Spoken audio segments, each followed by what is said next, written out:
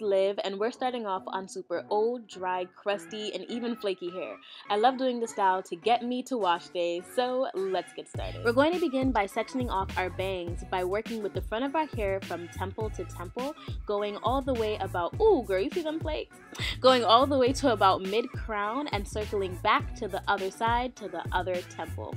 Then you should have a clean cut from temple to temple, peaking at the mid-crown. Section that section out of the way so we can focus on the back. Moving on to the back, we're going to begin by sectioning off a small to medium sized row of hair and bantu knotting it out of the way. Heading back yet again and sectioning off another small to medium sized row section of hair, bantu knotting it out of the way. We're going to continue this process until we've completed the whole backside of our hair, making sure to go from top to bottom. Messy parts are perfectly fine, it doesn't have to be perfect. I used the style to get me to wash day, so it's perfectly fine. I completed my sections off with a total of six bantu knotted section. To style the hair, I'm gonna grab one section at a time and lightly spritz with water, working the water in before grabbing my I Can't Believe It's Not Pumpkin Hair Butter by Soultanicals. This is one of my favorite butters at the moment. I like to take a good amount, placing it first at my end, and then grabbing a little bit more and coating the hair shaft itself, working the product into the hair, finger detangling as I go. Once the hair is coated, I'm gonna grab a small section at the very top of the section that we're working with, splitting it into two, and then doing a two strand twist. Holding the other side of the section down, using my index finger to help me grab small sections of hair to add into my twist and twisting over. I'm going to continue doing this process until I run out of scalp. Finishing off that section by doing a standard two strand twist all the way down, making sure it's nice and tight, and then twirling the ends together to keep it all intact.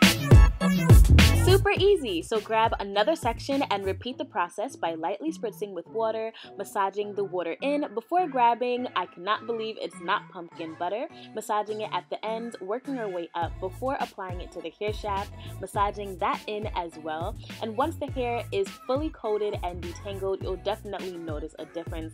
Look at that curls, girl. And then from the very top, we're gonna grab a small section, split it in half, do a two strand twist, and then using our index finger to help us grab small to medium sized sections, twisting it into the mix, and continue doing this until we run out of scalp. Then two strand twisting all the way down, and once we get to the very end, twirling them together. Great, now continue this process for our remaining sections. This is currently my version of a flat twist. I'm still learning, still trying, but I think it works just the same. Finishing off the back with a total of six flat twists, now it's time to work on our frontal bangs. We're going to be separating this into three equal sections, one on one side, one in the center, and one on the other side. Bantu knot them out of the way so we can focus on one section at a time. Working with our first section, we're going to lightly spritz with water before adding a generous amount of our product, finger detangling as we go, and then we're going to continue our flat twist technique that we have been doing before, using our index finger to help us add in here to the flat twist, then twisting all the way down to the ends. And I like to add extra product here in my bangs at the ends before I begin to twirl them together.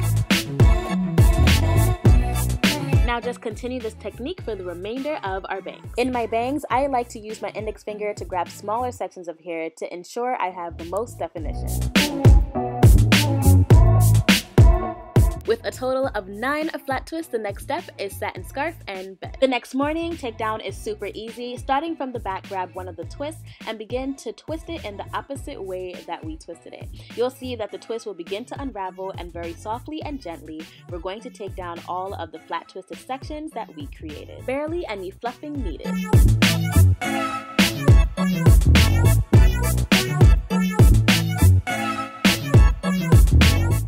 I like to lightly but generously spritz the perimeter of my hair with water before going in with my favorite butter. This is my Lily Fluffy Shea Butter Cream, applying a dime size amount, massaging it in to the perimeter of my hair, and then using a brush to smooth it all in and getting my edges nice and soft before putting my hair into a high ponytail.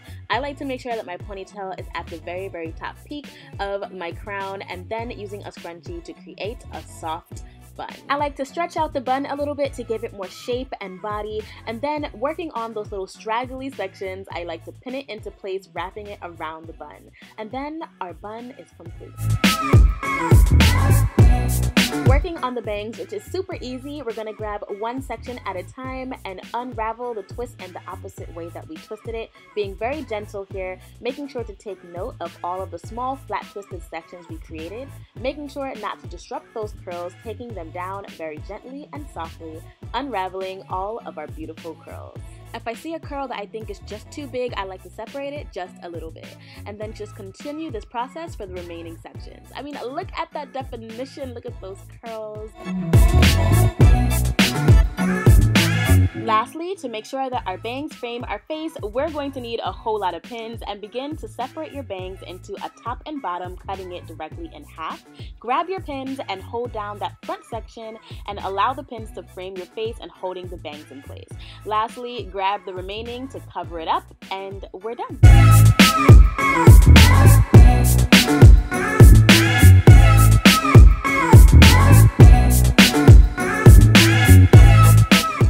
hope you guys enjoyed this video. If you did, please don't be shy to subscribe, give me a big thumbs up, and comment down below. Thank you so much for watching, and never forget to live in love with you.